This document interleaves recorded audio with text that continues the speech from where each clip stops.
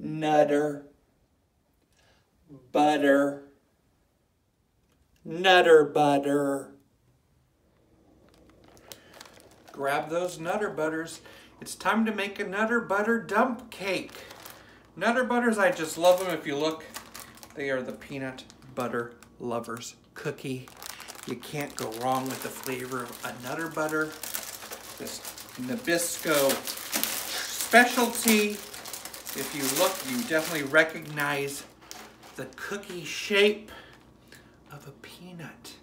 This cookie came out in 1969, quite a bit of time ago. The history is a bit muddled about the development of the cookie, but that design, they say, comes from this Nabisco employee named William Turnier, and he, they say he also developed the look of a milk bone, an Oreo cookie, and animal crackers, and a nutter butter.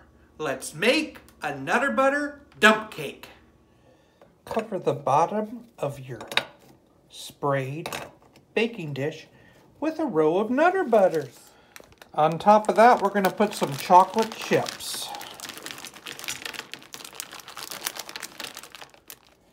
And since I had them available, I'm going to do some peanut butter chips too. Now you're going to grab some cake mix. I'm going to use this butter yellow cake mix. And you're going to dump that on top of all those cookies nice and evenly. And now we have some condensed milk that we're going to pour evenly on top of the whole cake. Correction, correction. That was evaporated milk.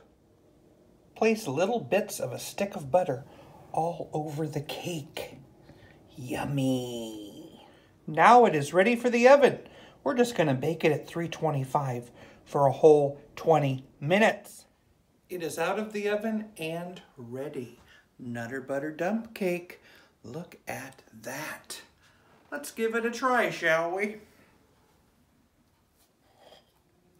Definitely see a lot of chocolate oozing out.